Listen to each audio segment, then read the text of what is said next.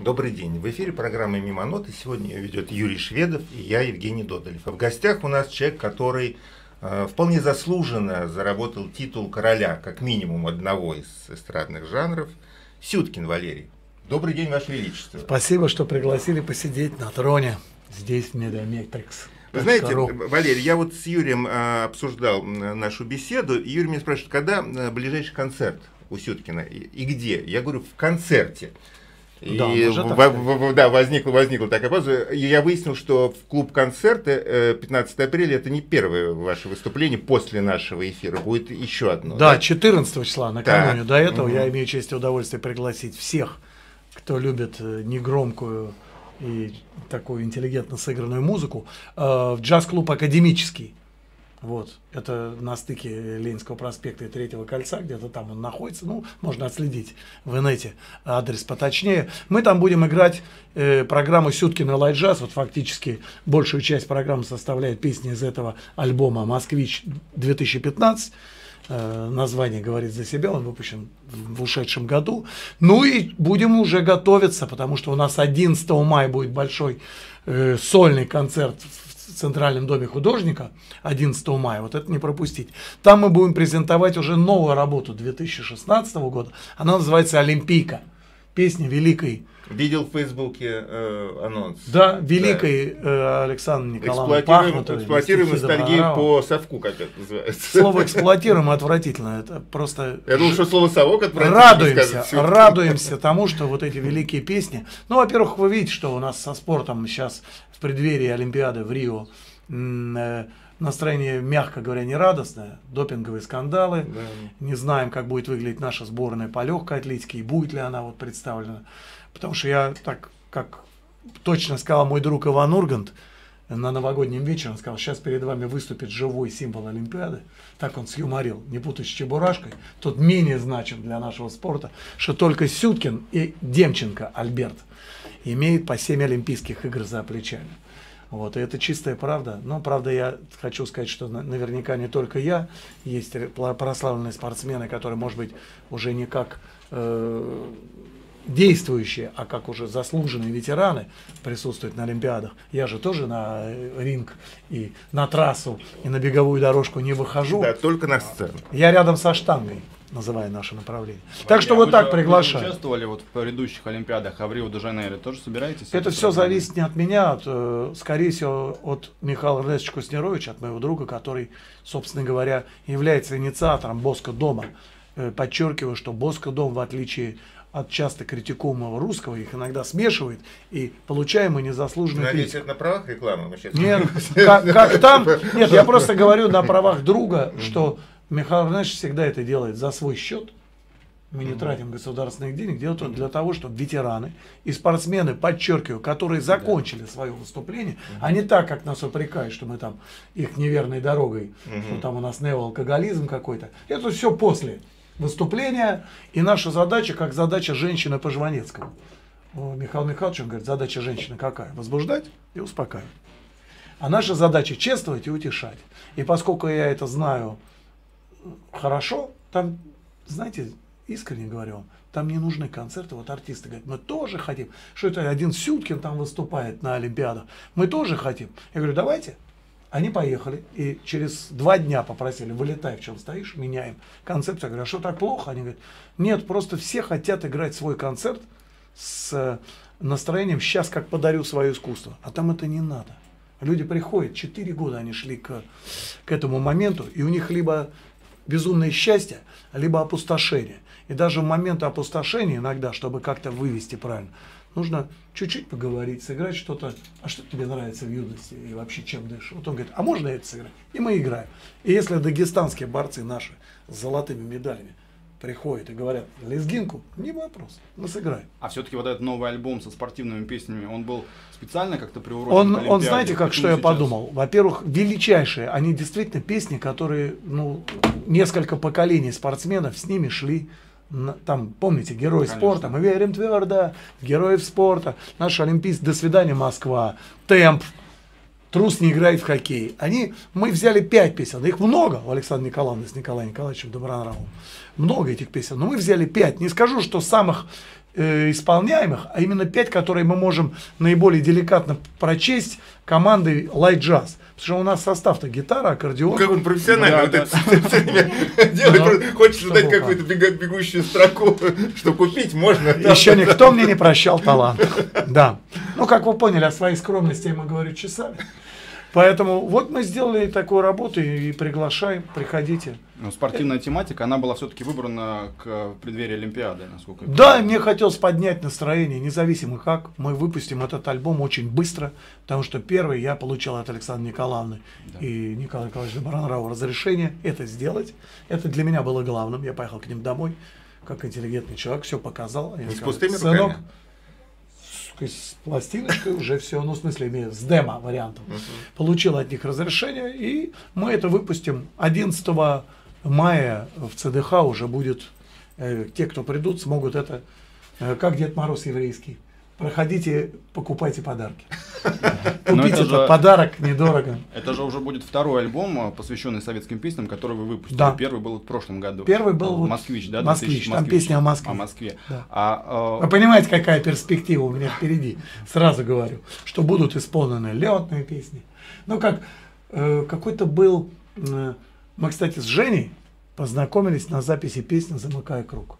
Да. Он стоял да. вместе с нами скромно в верхнем ряду, рядом с Витей Михайлиным, там, Пел. с Серковецким, Александром. Да, прямо вот. И э, примерно в то время, а может быть чуть пораньше, я помню, что был мужчина, ну, я думаю, что он был не один, который утром в газете, вечером в куплете, в полном смысле этого слова, стругал песни, э, художественное достоинство их я подвергать сомнению не буду, там его, наверное, нет. Но зато лесорубы, лесорубы, столевары, столевары, все профессии были охвачены. Так что я как представитель вот этой того времени, певец технического регресса, я с удовольствием буду это петь, просто очень, очень мелодия красивая. Сейчас я это, это в детстве мы только Deep Purple, Led Zeppelin, и больше нам никто не нужен.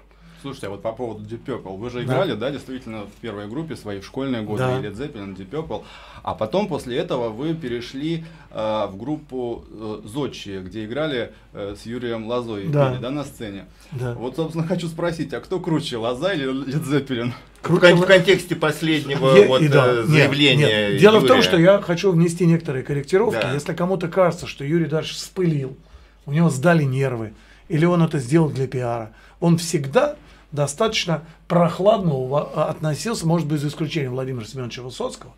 Мне кажется, что он для него авторитет. А эти ребята и тогда для него не были авторитетом. Он говорит, там играют.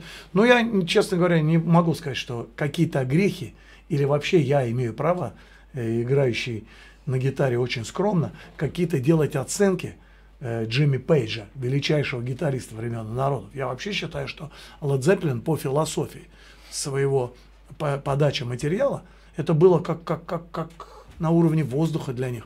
То есть сейчас я смотрю концерт Led Zeppelin, он живой, вот видео. Э, есть замечательный фильм, по-моему, называется The Song Remain the Same. The same да, the так как называется их песня. И там фрагменты с разных видеоконцертов. Посмотрите, если вы, вам кажется, что вы тоже сомневаетесь. И я вас уверяю, то, Но что... действительно, ведь у Кейта Ричардса такая манера игры, что кажется, что не строит гитара. Ну, слушай, ну, когда вот, их поздравлял э, Пит Тауншет с очередной, там, там 30 лет Роллинг Стоунс, угу. мне очень понравился. Он сказал, ребят, продолжайте в том же духе, но делайте это, как всегда, неаккуратно. Вот есть, есть же это. Но это э, самый главный почерк Роллинг Стоунс. Такой вот неряшливость Они в фильме Мартина Скорсезе, давая, э, Кис Ричардс, когда да. давал интервью, он сказал, что его спросили, кто самый лучший гитарист? Он сказал, вначале, что сказал Рони? Вуд. Рони Вуд. Рони Вуд сказал, что он? Он говорит, врет мы оба играем отвратительно. Но вместе, когда мы это делаем, мы гораздо лучше первой десятки даже. Абсолютно точно. Это два гитариста, которые делают, ну там нельзя не сказать, конечно, о Чарли Уатсе, который я как барабанщик разбираюсь.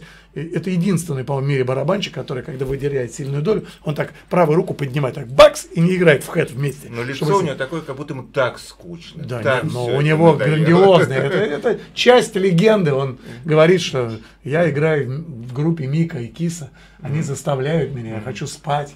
На гастролях я только спать хочу. Я старый там и так далее. Но, короче говоря, не будем осуждать. Это Юра сделал это так же, как делал это 30 лет назад, когда мы встречались, я говорил, но не, не в эфире, как он это делал за столом. А ну просто не задавали вопросы ему такого. Двинул. В общем-то, уважительно, мягко говоря, да, относитесь к западным рок-музыкантам. А не было, э, или может быть есть желание выпустить э, каверы Нет. Ну, во-первых, я хочу сказать, э, замечательный кавер выпустил Коля Расторгуев с огромной любовью к Битлз. Он спел эти песни по-своему, причем не стал там копировать голос Джона или Пола, или э, Джорджа, в основном они исполняли. Хотя и Ринго песни есть, помните, две-три у Битлз. Так вот, э, Коля сделал это с большой любовью, с мастерством. И на, ну, я не вижу, но я в юности... Во-первых, это просто образование. Конечно, это не похоже. И даже я абсолютно не востребован, как вся румынская литература, такими программами, как один в один, э, точь-точь и так далее, потому что я не талантливый в копировке. Сейчас ребята ремеслом этим копирования владеют гораздо больше. Но знаете, в чем главное? Я тогда понял, э, совет мне дал, к сожалению, этот человек в другом измерении, бывший клавишник группы Парк Горького Коля Кузьминых. У нас была уникальная встреча, я его встретил лет через 30 после нашей первой. И увидев его за клавишами в парке, я говорю, а как у вас клавишника зовут? Спросил у Белова и у Маршала. Они мне говорят, Коля. Я говорю, фамилия Кузьминых? Да. Я говорю, Коля, здравствуй. Он говорит, он меня тоже не узнает. Я говорю, ну он знает, что я Валерий Сюткин. Но он говорит, а при чем здесь 30 лет назад? Я говорю, а я играл в ЖЭКе номер 9. И ты приходил, Эмерсон, Лайк и Пелмор играл еще. Да, и я тебя спросил, как правильно петь Deep Purple. И ты мне сказал самые важные слова, может быть. Никогда не искажай тембр. Песня – это что ты хотел сказать. Это, это было сказано в каком-то там 75 году. И даже если ты поешь на английском, и твоя задача скопировать, ты рассказываешь историю. Обязательно переведи, про что это. И просто рассказывай. Но ноты интонируй чисто. Только ноты. А голос свой не надо, если ты пытаешься спеть Тома Джонса, у тебя все равно не получится вот с этим хрустом откуда-то оттуда, от мужского низа это подать. Тебе ты бы здесь такая дешевая пародия на, на сэра Тома Джонса. Поэтому пой Саэкс-бом так, с ухмылочкой. Не надо это давить из себя. И будет искренне, органично и хорошо. Это был очень полезный совет.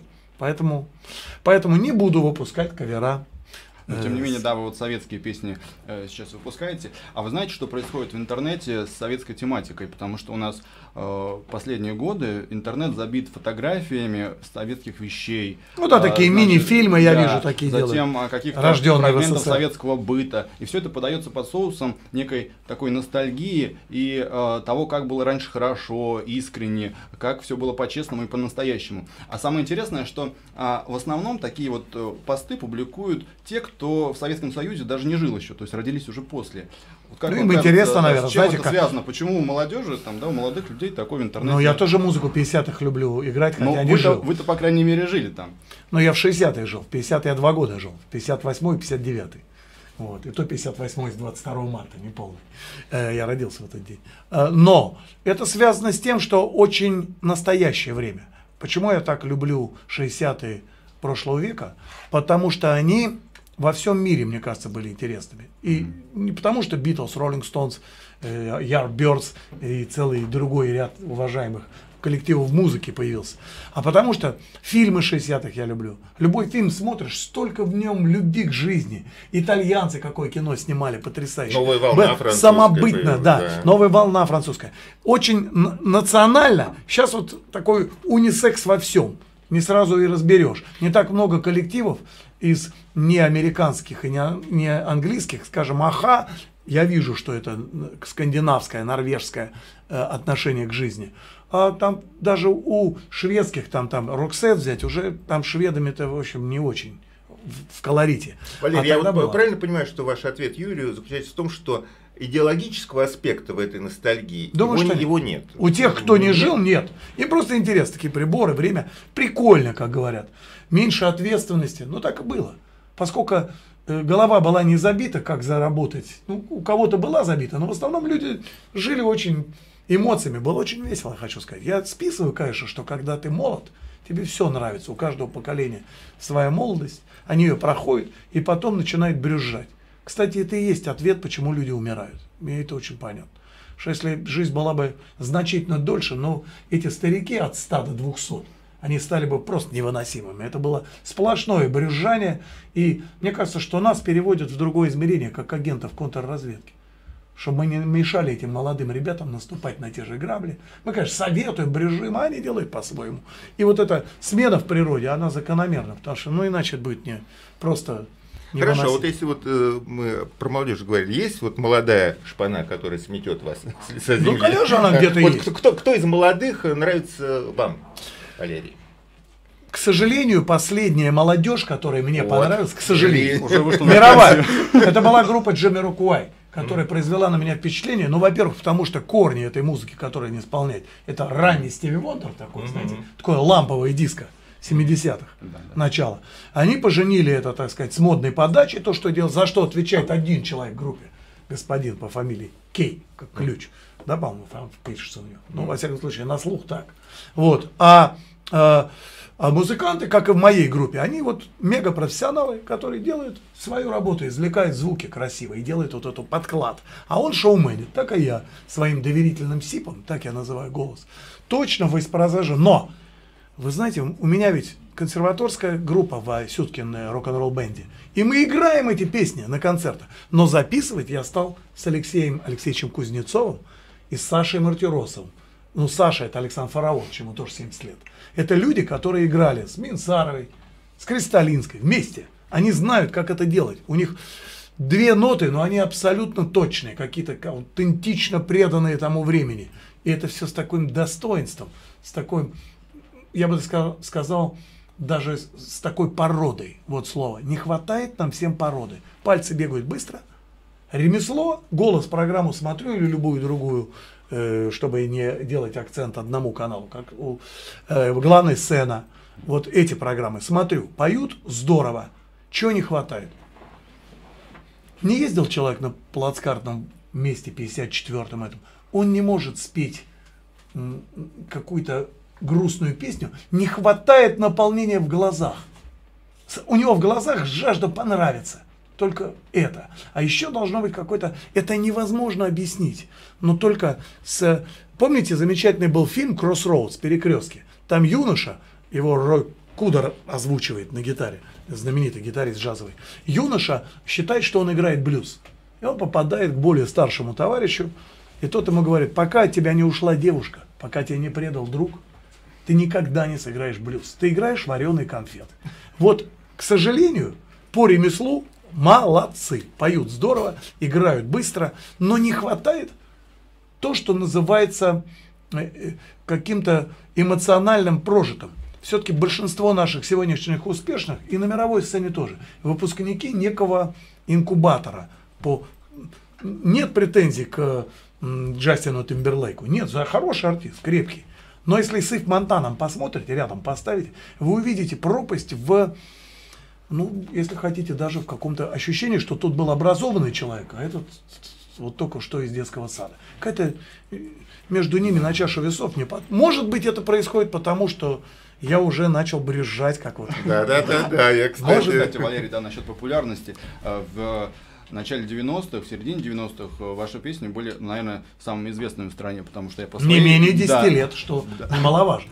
Вот и э, там 7 тысяч над землей и дорога в облака, они из каждого окна звучали. А кто сейчас ваш зритель? Кто на концерты ходит? Ну, наверное, львиную половину. Честно надо признать, те, кто это застал. Потому что, я думаю, э, очень понравилось. Мы каждый год два больших концерта даем. Это уже стало неким некой традиции. В клубе Йота Space, это бывший главклуб, там 3200 мест на всякий случай. Мы играем всегда в феврале и в сентябре. Мы сыграли два в прошлом, сейчас в феврале сыграли. У меня подписанный контракт на 22 сентября. Мы там будем играть. Что там происходит? львиная доля 2 800 да. количество людей, это те, кто купил недорогие билеты, рублей по 500, может быть, чуть даже дешевле, и в стоячем портере отрывается. Вот я просто посмотрел в соцсетях, что люди пишут. Очень, знаете, лестно. Пошли вчера на этого дядьку. Случайно занесло. Слушай, это, это такие батарейки так рвет дедуля. Я, я до сих пор помню, как мы приехали в Израиль с Женей Хафтаном из Браво в 93 году. И был жив Бовин. Помните? Александр Бовин. Да, обозреватель. И он был как раз тогда послом России, России в Израиле. Израиле. Да. И после концерта я включил телевизор, местную программу, и там новости, и вдруг спрашивают, что и у Бовина, вот у вас что яркого? Он говорит, я был на концерте, ну, ходи, пошел на Агузарову, потому что я знал ее. Но там парень, вы знаете, я скажу так, советские люди так не работают. За это надо платить огромные деньги. Он просто рвет на части, прямо как вот не, не хуже, чем и называл вот, кого Лоза приложил, вот Мика из группы Мика Да. Кстати, Лоза назвал его Питером, и вот это вот на, действительно просадка, Ну, это, это, это, это да. да, там, там недоработка, и потом, как э, ребята э, с, из программы, из телеканала сумели расшифровать Тирекс, он, по-моему, другое название, там, Марк Болон. Не. Он Терекс назвал? Он произнес. Нет, у него Трокс что-то там Да, он как-то тоже сказал. Да, да, Крокс или что-то, да. Трокс, ну, да.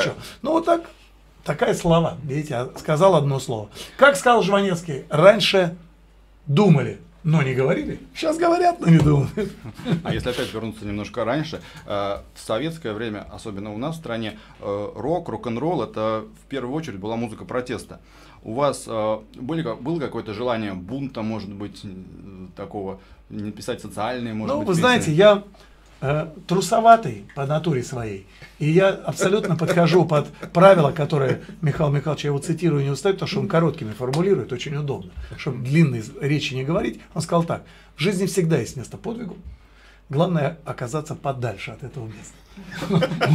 Так что, во-вторых, я всегда вот фактически, ну как всегда, вначале были хулиганские у нас штуки, мы э, выступали на физтехе, в основном, потому что в начале 80-х, ну, полностью перекрыли э, э, концертную жизнь в Москве, я имею в виду для групп, которые исполняли песни, не, не принадлежащие перу советских композиторов.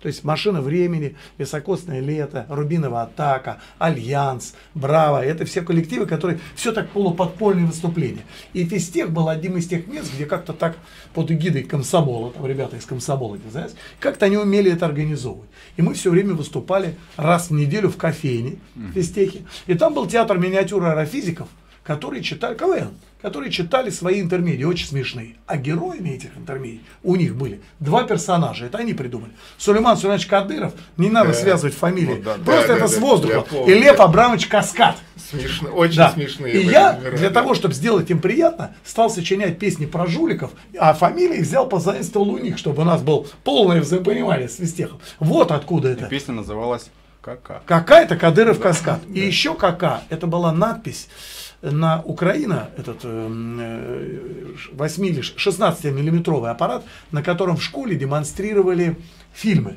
А колонка к нему использовалась в рок-н-ролле в, в нашем школьном, в группе «Возбужденная реальность», который тогда играл. А на колонке было написано «КК». Вот две буквы К и К. Это еще сыграло такой-то усилитель ламповый М50. И через эту колоночку. Так что это не, некие такие, знаете, все вообще в этом мире не случайно. Я какие-то песни спустя вот вот что вот в этом альбоме? Можно еще раз да вот в этом альбоме? Обязан что, просто, что происходит? просто артист. Это же на катке звучало когда я играл мальчишкой в хоккей в ботинке прощай молодость снимал ставил вместо штанг и с, с, на чистых прудах с ровесниками как в фильме Михаила Казакова Покровский ворот очень похож. Лампочки эти светят и в репродукторе. Шагает солнце по бульварам Муслим Магомедович поет песни Арноба Баджаняна это все звучало. Но мои, естественно, первые э, шаги были сделаны благодаря программе в объективе Америка. Ее Зорин вел, Валентин. И там заставкой была песня Леннона и Маккартни «Любовь нельзя купить». И когда я это услышал, я не знал, что это Милар, да. да, у меня такая мурашка так по руке. Ап, и я маме сказал, мама, купи гитару, а то пойду неверной дорогой. Шантаж. Мне 14 или 13 лет. И я научился играть эту песню и дальше. Юрий задает э, финальный вопрос из своего сета, потому что ему надо сейчас уезжать э, снимать Марка, Жажда наживы, Марка Григорьевича Рубинштейна, у которого... неведомой да. дали. Вот, э, Юрий, ваш финальный вопрос. А давайте вернемся к началу разговора, к спорту. А, неделю назад два Сергея, Шойгу и Лавров, объявили о создании народной футбольной лиги. Это аналог э, ночной, ночной хоккейной, хоккейной. да, где будут играть звезды эстрады, политики. И основная задача, как сказал Шойгу, это вытащить мужиков из гаражей. Вопрос, вы уже записались в команду? Я уже, как и Александр Петрович Пресняков, который, кстати, очень элегантно это сделал, могу у кромки поля постоять, выйти на одну минуту, дать пас. Ну, то есть я недвижимость уже спортивная. Перед вами король вялого фитнеса. Я не только, не только сел себе как король рок-н-ролла отечественного. Что это такое? Я занимаюсь в любимом ворд-классе. И, в принципе, делаю какие-то движения на кардиотренажерах. Но каждую тренировку я одеваю халат. Он входит в стоимость тура. Одеваю, сажусь в кресло и говорю сам себе, в шезлонг, в шезлонг, в раздевалке, и говорю, тебе это надо сегодня, Валера? И вы знаете, бывает, не, не всегда, но процентов 10 организм говорит, ни в коем случае. И я так и продолжаю сидеть, строить планы на будущее, залезаю там в телефончик. Мы же без тыкалок теперь не живем без этих. Угу. Что иногда жалко. То есть вялый фитнес. И вот отвечая на ваш вопрос, не побегу я. Почему? Потому что азарт как в юности. Жень, как в юности. В Италии на курорте отдыхали мы, был Коля Писарев, был Колыванов. Они говорят, Валер, ты же на воротах стоишь прилично. Да, давай Интер грохнем ветеранов по 1000 евро на, на кон. Угу. Я говорю, ну давай. Маликова позвали, всех, Бутмана, все, кто там в этот момент был, вышли. Но я в воротах сборной России. Понимаешь? Не, не просто чего-то. Тысяча евро тоже, правда, жалко. Поэтому я вынимал все. Ну и вынул, рука вылетела из локтя. Серьезно? Сломал руку прямо на матче. И сказал себе, все, это надо вовремя заканчивать. Потому что организм прыгает так же, как раньше. А косточки, суставчики, либо их нужно разминать ежедневно тогда. Тогда надо быть как моя подруга певица Валерия, которая пашет прям, а Лера прям заслуженный аплодисмент. Каждый день. Либо вы это делаете, а мы же каждый день что? как это сказать потактичнее в эфире, сигары, напитки, никакого спорта у нас каждый день. Велый фитнес только. Поэтому какой футбол? Так Все. за Россию-то тогда пропустили или нет? Не востребован, как вся монгольская Матчи. Пропустили или нет? за ворота, когда, когда стояли за Мы выиграли? Выиграли. Вы, да. это, это главное. Мы выиграли, да, парень. Мы прощаемся Я с Юрием. не пропустил, он, но потом уже другой вратарь стал. Он переда, передаст привет э, Марку Григорьевичу Рудинштейну, который 7 числа 70 лет, и у нас смена караула происходит. Да, да. Спасибо. Вот на э, место ведущего выступает Женя Ходес. Здравствуйте, Женя. Вот, э, я по своему опыту знаю, что девушкам гораздо приятнее давать интервью, чем самцам. Поэтому, собственно, ее вопрос. Отдавать девушкам вообще все приятнее или нет? Бесспорно, да. Да, Женя. Здравствуйте, Здравствуйте, Валерий Миладович. Подскажите, а почему Миладович? Вы же москвич, а Милад это, насколько я знаю, имя иранского или даже персидского происхождения. Даже я бы вам сказал, знаете, у хорватов часто встречается. В основном люди, исповедующие ислам, носят это имя с Тимофеем на финале. Милад. Милад. А мой отец рожден в городе Пермь на Урале в 29 году прошлого века бабушкой Зинаидой Гордеевной Сюткиной, русским человеком. Угу. Но поскольку он, видимо, был красивым, или бабушка... Я вначале, знаете, у меня есть товарищ Заблудовский, Андрей, Забыл да, да. из секрета гитарист. У него да. отчество Изиль. Его. Но э, это логично. У него отец, бабушка очень коммунистически настроена, назвала сына своего, э, в, то есть, извините, э, бабушка сына, да, угу. папу Андрея, угу. назвала Изиль. Исполняй заветы Ильича. На что Леонидов и Фоменко все время подкалывали. Заблудовского и говорили, тебе нужно сына Перезилем назвать, переисполнить. То бабушка моя назвала отца именем Милад Дмитрий на конце. И оно абсолютно из воздуха, видимо, а, Просто аналогично, как Людмила Мила, так вот э, Милад э, э, иранский или иракский перекочевал на Урал вот с, с новым именем. Но мне нравится, я обладатель уникального одного в своем роде Мне имя. тоже нравится. И я составляю одного из участников нашего клуба. Матецкий Владимир Ле, Ле, Ле, Леонардович. Леонардович. Не любит, а, кстати, говорить. Соловьев, он, Рудо, да. ну Рудольфич это все-таки, но все равно ну, да, редко. Да. Есть у меня Фараоныч в моем ансамбле играет, Александр, mm. понимаете? Я упоминал сегодня. Да, так что вот такое. Я когда готовлюсь к интервью, делаю некий опрос в соцсетях. И первой самой реакцией на мой пост э, было сообщение «Ого, обожаю его, женат».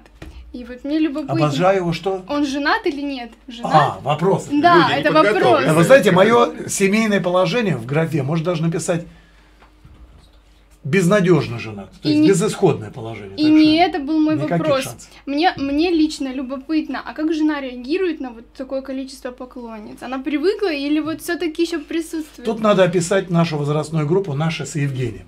Понимаешь, мы можем так шутить, мило улыбаться, почему это так происходит? И так это, знаешь, без какого-то подвоха с нашей стороны. Потому что девушки, за которыми мы когда-то ухаживали, они потихоньку начали умирать. Это наша возрастная группа. И поэтому мы уже можем себе позволить, ну, что такое совсем. 70, как сказал Жванецкий, это право целовать любую женщину без ее согласия и без своей надежды.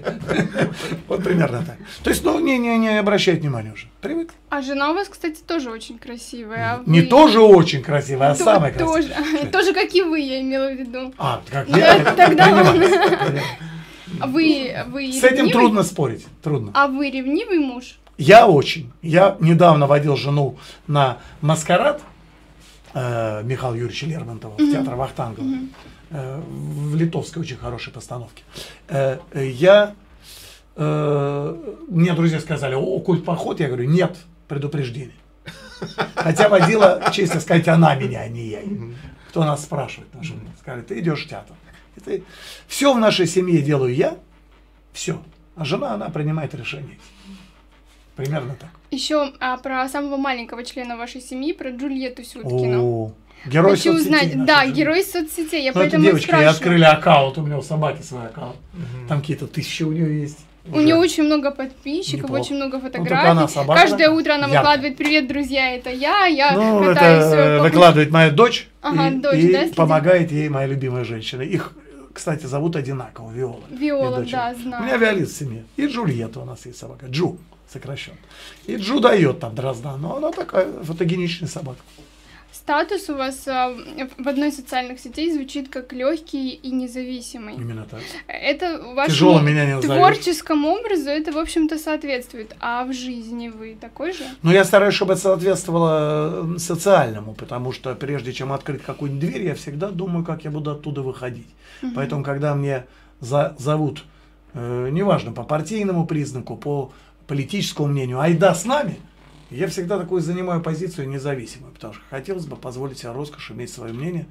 А вот любая ошибка, ты как-то так немножко неправильно открыл дверь, и потом ты уже не можешь выйти назад, потому что все, ты уже влип. Поэтому э, легкий да, а независимым быть стараюсь. Но на самом деле это все, опять же, из-за интермедии Жванецкого, э, коротенького рассказа. Звучит он 30 секунд, поэтому я его лучше весь расскажу. Вы пробовали зашвырнуть комара? Он не летит, куда его бросать. Он, нет, он летит, но сам по себе. Сам и по плюет себе. на вас. Вывод. Надо быть легким и независимым. Очень мне понравилось. Вот при всей такой, э, при всей легкости вам э, вы работали и барменом, и грузчиком. Ну там легкость по- тоже нужна. Помощником э, повара, да, зам правильно, да? Зам зав производства. Вы знаете, что такое настоящий физический труд. Да. И вот из вашего личного опыта на пути к успеху в процентном соотношении, если бы вы определили, что больше влияет на конечную цель, на итоговую, на успех, то бишь? Желание. Желание. Заниматься этим делать. Именно свое желание. А, Тебе должно это нравиться самому. То есть труд, все-таки труд, нежели удача. Удача должна тоже сопутствовать в любом деле. И, э, конечно, на мой взгляд, самым естественным и благородным является физический труд для мужчин, mm-hmm. такой крепкий такой. А для, а для Что-то у них есть в этих мужиках, в характере есть такой, знаете, они не такие многословные, как я, но зато они очень настоящие. Есть там, там больше настоящих, чем в, в бизнес-сфере, это точно. И особенно в артистической. Тут вообще э, мужчина, актер, он немножко меньше, чем мужчина. Вот женщина-актриса, она чуть выше, а чем почему? женщина. А почему? Мне так кажется. Да, так, так вот устроен мир, потому что это женская профессия на самом mm. деле. Но есть люди, ну, первый, там, скажем, Олег Басилашвили. Ну, никак он у меня с... Нет к нему никаких вот э, претензий, слова не то. Человек, в который лишен этих недостатков и который уже в профессии показал, насколько глубоко он к ней относится. Там Евгений Лебедев был такой, старый школ. Ну и вот молодые ребята, которые, как они молодые, они моложе меня, но они Владимир Машков, э, Миронов Евгений, там, Маковецкий Сергей. Согласна. Это мастера уже, которых не, нельзя упрекнуть. Ну что же, у мужчина актерством занимается. Их так нельзя упрекнуть. А так начинающие, Вот своей дочери, вот у меня дочери 20 лет. Она, естественно, бредит театром, и там актеры рядом. Ну, не очень мне хочется, чтобы спутником стал актер. И понятно, что там тоже порядочные люди могут встретиться по человеческим качествам, но шансов значительно меньше, чем то есть Виола должна будет привести папе сначала жениха. Нет, да? женихи по определению пройдут через папу, ага. и тут будет э, кастинг посерьезнее, чем э, в программу Дом 2 попасть. А, кого, а, как, а кого мы ждем? Да, да, да, какой кастинг? Вот что? Какой не, ну, во-первых, быть... мы ждем, чтобы ей понравился вначале. Пока Это на дружеской основе я не вмешиваюсь, пока. Или так, увлечение. А если музыкант будет, не актер, а музыкант? Музыкант лучше уже, чем А если журналист? Журналист замечательно, но как друг. А вот вы про бизнес говорили. Я знаю, что сейчас очень многие деятели э, кино и артисты, певцы сочетают э, свою деятельность э, с ведением бизнеса. И многие даже, кстати, позиционируют себя как бизнесмены, и дополнительно они параллельно поют, играют. Я не такой талантливый. Я не такой талантливый, То есть вы параллельно... они.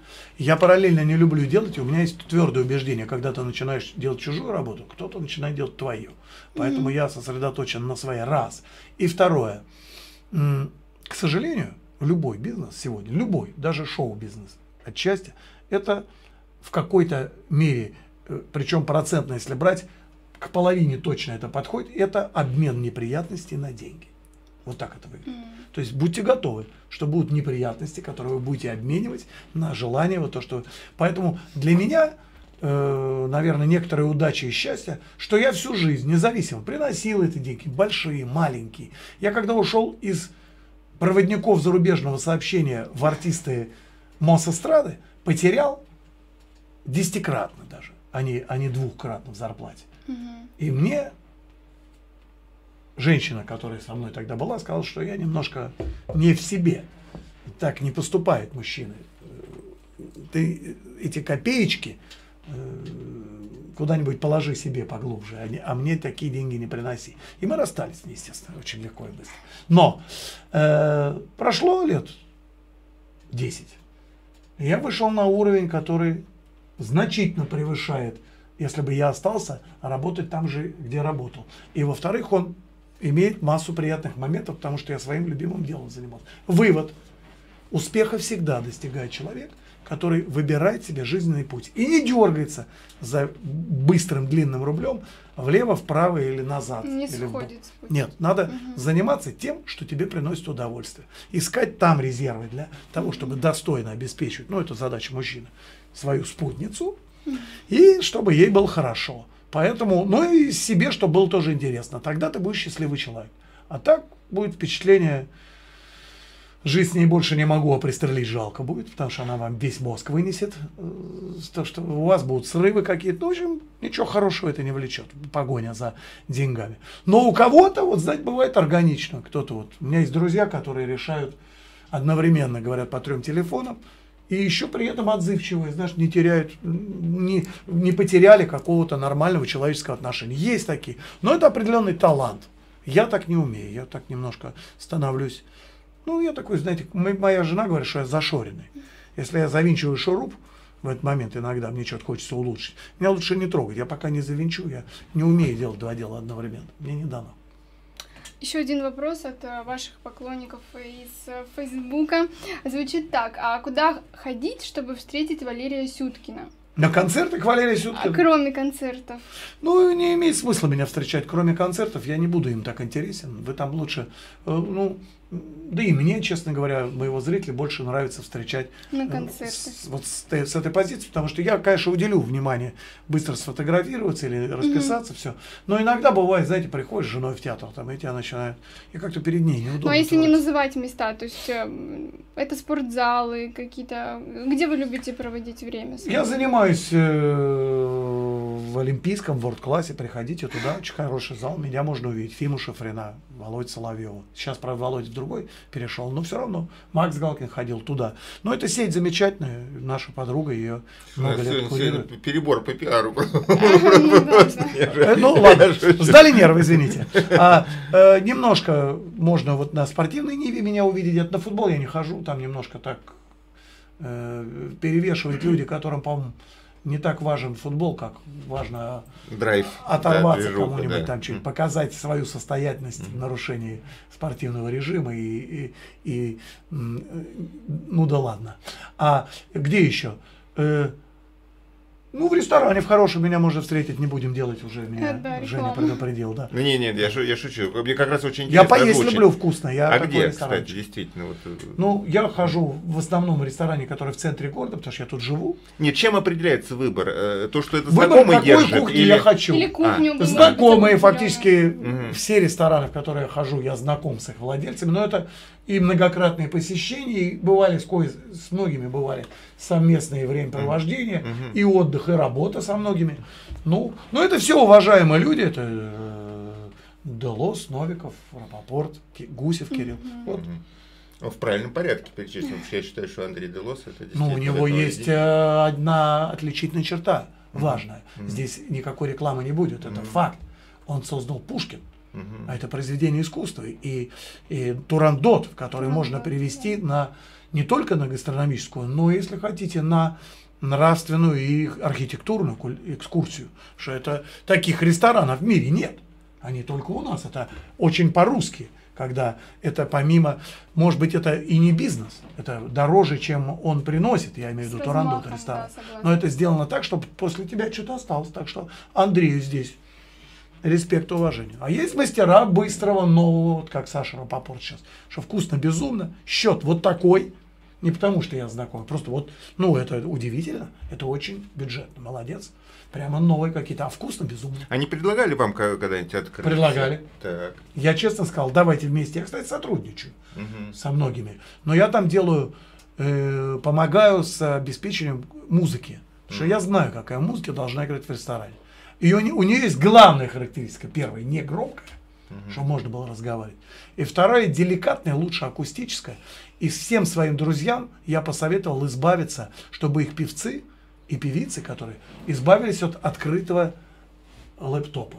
Потому что певец, который сидит на, как на насесте на барном стульчике и читает текст по лаптопу, я говорил, купите в каждое заведение по клавишному инструменту. И даже если этот артист не играет на инструменте, отключите его. За нотным, так сказать, держателем спрячьте этот ноутбук, iPad там или что-нибудь плоское, и пусть он изображает и поет. Смотреть за человеком, который сидит за инструментом, просто приятнее, чем смотреть открыто, черт его знает, может, косынку он там складывает. Какое-то, какое-то неуважение к профессии в этом есть. Или бы выучи слова все наизусть, как я. Я вот в этом альбоме все наизусть пою. Не? Не. Я думаю, что вот прям э, это хорошая кода, такая с, с, с, с этим да, альбомом прозвучала, потому что сейчас наши э, слушатели, Смогут понять, радио, радиозрители послушают э, музыку э, Валерия Сюткина. Мы еще раз напоминаем, что 14 Да, 14 клуб академический, 15 клуб концерт с рок-н-роллом, там mm-hmm. можно оторваться уже формате танца, 14 более джазово изысканно, и 11 вот пока эти три проанонсирую, и 11 мая в ЦДХ презентация пластинки Олимпика. Песни, которые мы исполняем, они с улыбкой в каждой ноте и с уважением к тому материалу, который с детства звучит в моем сердце. Спасибо, Женя. Валерий, спасибо. спасибо Ждем Женя. вас спасибо, еще. Женя. Между двух Евгениев. Кстати, да, да, да, да. Про желание мы не поговорили, об этом поговорим в следующий раз. Спасибо.